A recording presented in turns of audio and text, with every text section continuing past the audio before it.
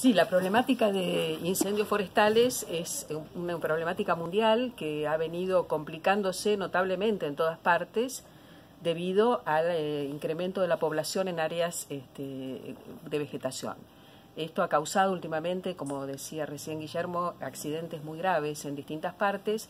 Por supuesto que siempre tener los recursos este, y las organizaciones adecuadas de respuesta es una gran ayuda, pero a veces eh, no es suficiente y han habido, sí, accidentes muy grandes, por ejemplo en California también, donde tienen enorme cantidad de recursos. Es un problema que este, tenemos que asumir, que en algún momento tenemos que enfrentar y, como otras este, cuestiones de la naturaleza, ¿no? como son los tsunamis o son este, los tornados, y hay que prepararse para eso lo mejor que uno puede.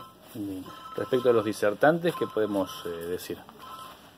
Bueno, en realidad yo no soy disertante, yo soy eh, coordinadora de investigación y posgrado de la Facultad de Ingeniería, desde donde también se está constituyendo y conformando la organización de, este evento desde principios de año.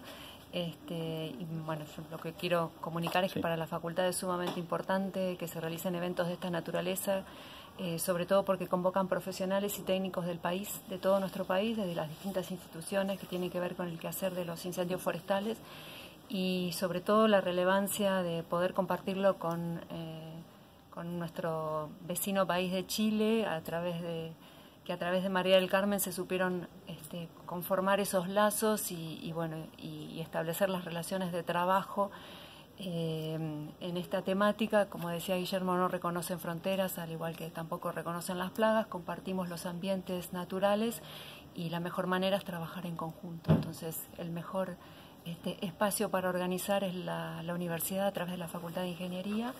Eh, y bueno, eh, desde la facultad se agradece obviamente a los docentes que se involucran en este tipo de actividades porque jerarquizan este, a nuestra institución y sobre todo generan un espacio de intercambio y este, le dan una cierta dinamismo, un dinamismo en la ciudad académico que realmente es muy importante.